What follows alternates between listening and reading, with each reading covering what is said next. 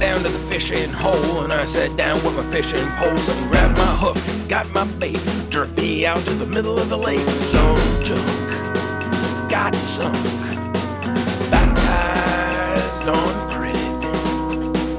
Fishing down on the muddy bank, I felt a big pull and I gave a big yank. I hauled out three old rubber boots and a Ford radiator and a Chevrolet Coupe. Handed them in for national defense. Sitting in a boat with a bucket of beer. I didn't catch nothing, but I didn't much care. Guess I was pretty well satisfied. Had my little lady right by my side. Taking it easy, just a waiting. Worm gone off that hook, couple hours.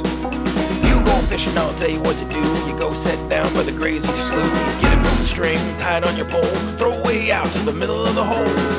Find a good shade tree. Set down, go to sleep. It. I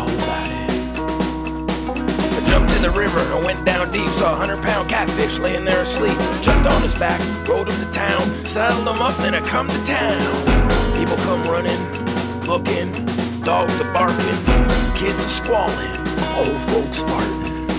Stagnate water stinking thing. Slick on top and turn all green. Water goes bad and the fish all run. Set all day and not catch a one.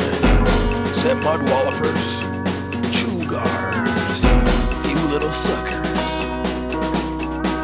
Wait away out to the sandy barn. I caught myself a big alligator gar. Brought him home, crossed my back. Tail was dragging about a mile and a half. Flipping and flopping. Sold him for a quarter.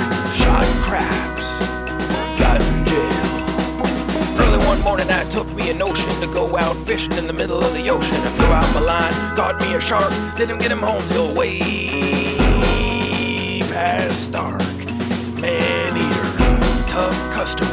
just not quite tough enough. Late last night I had me a dream. I went out fishing in a whiskey stream. I baited my hook with some applejack, threw out a drink about a gallon back. Done pretty good till the creek ran dry. Had to get my fish back to the finance.